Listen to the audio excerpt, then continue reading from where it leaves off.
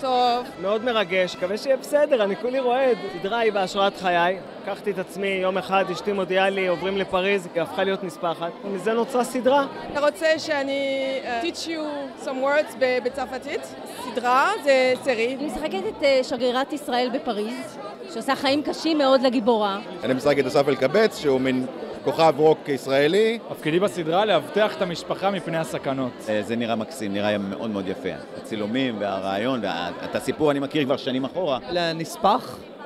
לקואסה מנו, מוש דו ז'ורנל מספן אלי בן דוד. עניינים של הגירה, עניינים של פמיניזם וכולי. זה נושאים שכמובן מדברים אליי מאוד. פה פמיניזם באמת מדברת על כך שהקריירה הנשית תהיה דומיננטית בבית. מה את חושבת על זה? שזה הגיע הזמן. סדרה על וומן פאוור לגמרי.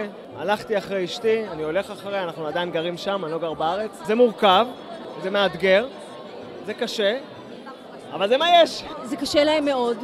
אבל ייקח זמן, והם יתלמדו את זה, זה כמו תהליך התבגרות. הם בגיל ההתבגרות עכשיו. אני שמעתי שלואיז למדה עברית רק בשביל התפקיד. בשביל התפקיד היא למדה עברית שנה. כן, כן, אבל עכשיו עשיתי כל השטויות בעברית. כן, כן.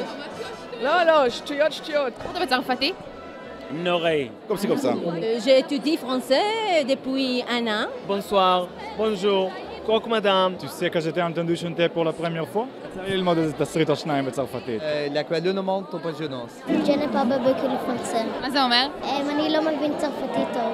אלי חבר שלי אולי 15 שנה. ספר לי עליו איזשהו סוד שאנחנו לא יודעים.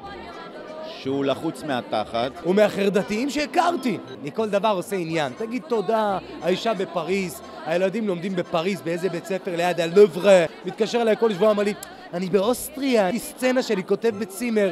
כפרה נסענו פה צימרים ברמות, ככה 2,500 שקל שחטו אותנו הלילה. אז הוא חי באירופה והוא מתלונן. לפחות יצא סדרה.